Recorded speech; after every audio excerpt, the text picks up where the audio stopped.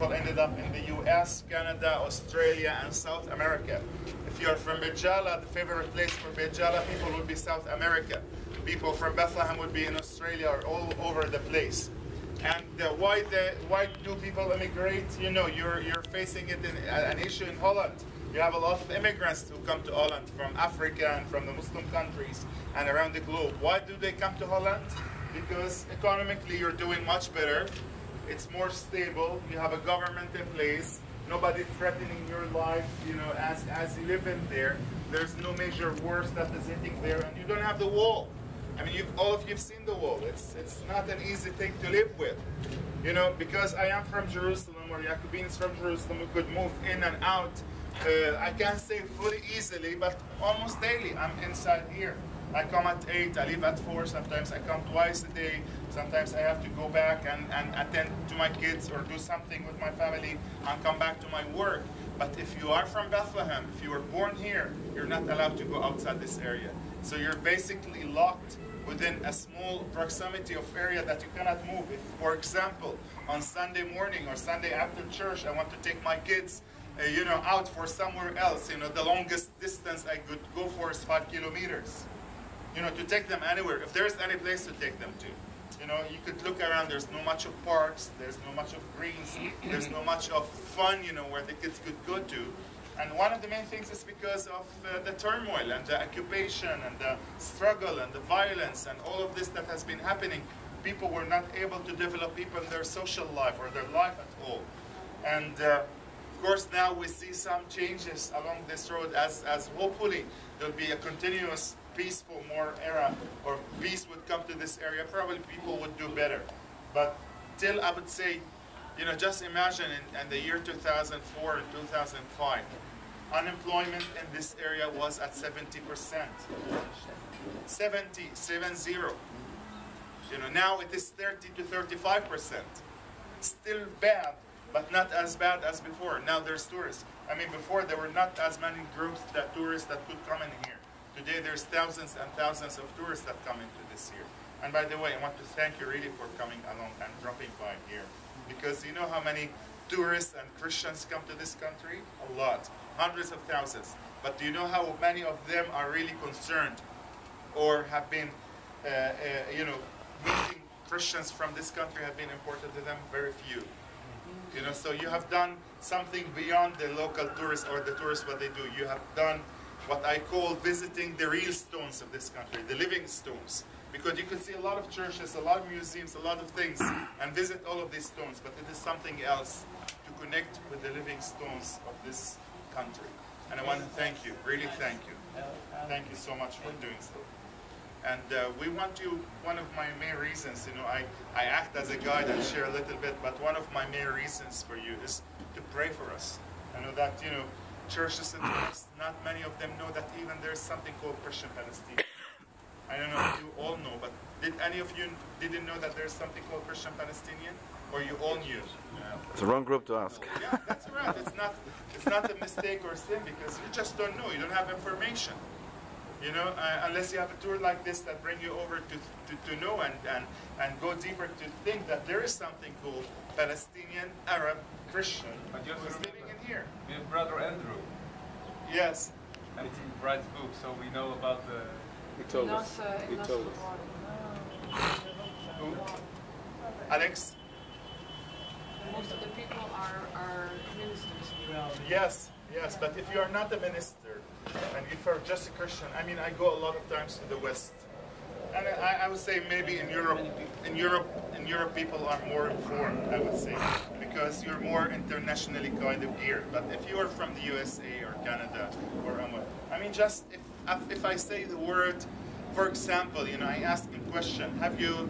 Uh, what's the first thought that comes to your mind when you think of the word Palestinian?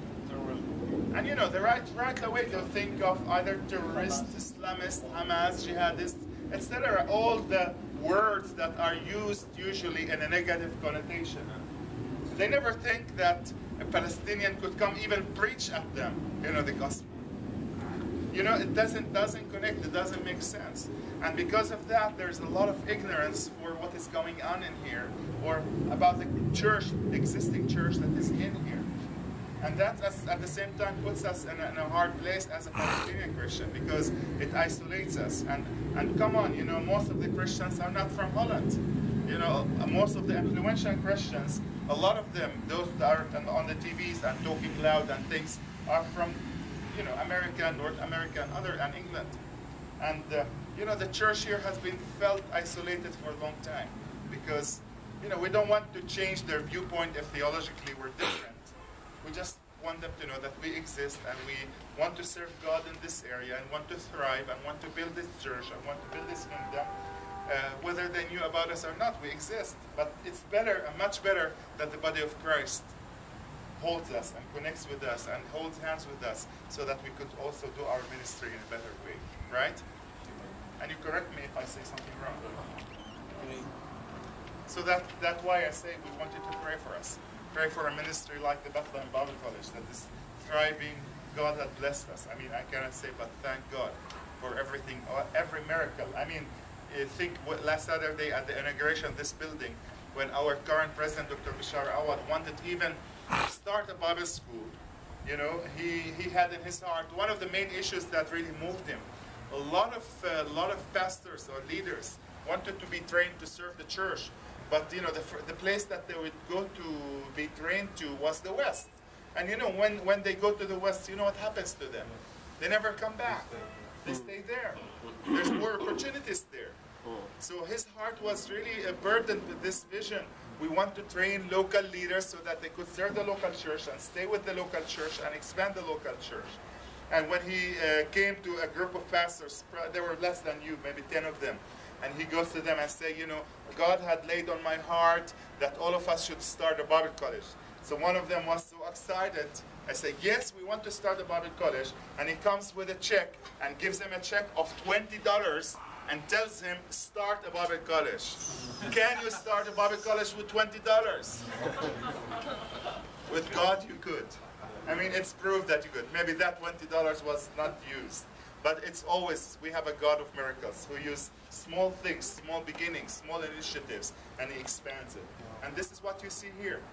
I mean, uh, at the time when uh, Dr. Bishara came to the, the owners of that building that we came through, and he asked them, we want to use the place. They said, no, you cannot rent it, you have to buy it. And you have only five years to get the money and pay it to us. Was $1.8 million. Where can you get a money like that in, in, the, in the early 80s?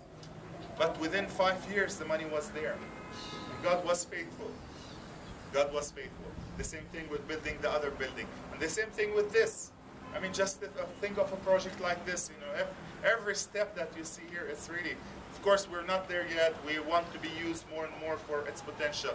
But if you have 170 students, 180 students, and you want to use this place to its potential and grow even more, so that we're not only rich, because our heart is not only to serve only pastors and group of leaders.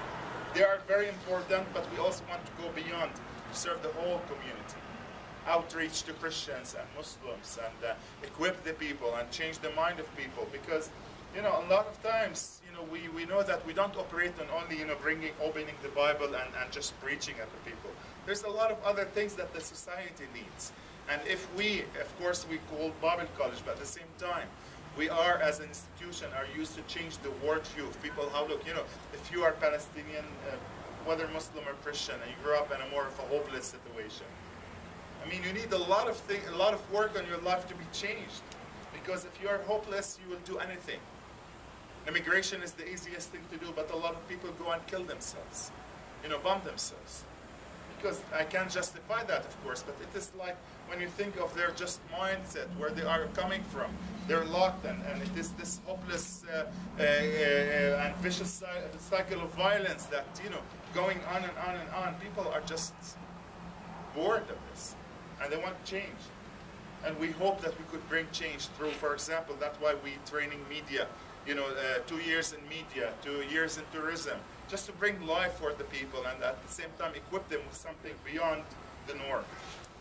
And God had blessed this word, and that's why you know I could, I could, uh, you could rejoice with us. At the same time, pray with us that the Lord will continue to supply, because although we God had blessed us on a yearly basis, there's a lot of needs. So I, I hope after you leave us, maybe some of your churches want to adopt a scholarship for one of our students. I don't know. Maybe that's one thing, one little practical thing you could do for us. You know, we have students that, you know, if I tell you what they pay compared to what the real cost is, it's pennies. You know, they, they, they come and we, we get them to pay. They pay 1,500 shekels or $1,500, but the